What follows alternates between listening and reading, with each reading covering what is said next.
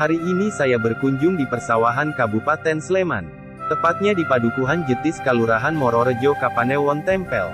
Sekitar 6 km dari pusat kota Sleman, Yogyakarta.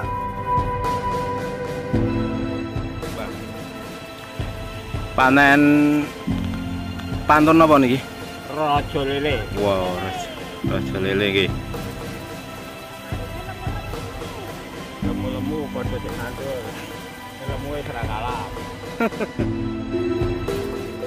Para petani di Jetis Mororejo sedang derep. Derep adalah kegiatan memanen padi. Derep biasanya menggunakan alat yang bernama ani-ani. Ani-ani adalah alat dari sekeping kayu dan bambu kecil dengan sebilah logam di pinggir kayu yang berfungsi sebagai pisau. Pisau inilah yang digunakan untuk memotong bulir padi dari batangnya. Atau sekarang ini banyak yang menggunakan alat modern, seperti serit padi, yang dibuat dengan batang-batang besi memutar, yang digerakkan dengan mesin bensin. Sebagaimana tandur, derep juga diambil perannya oleh ibu-ibu. Ibu-ibu yang derep biasanya akan mendapatkan upahnya sepersepuluh dari hasil yang ia dapatkan. Upah ini namanya bawon.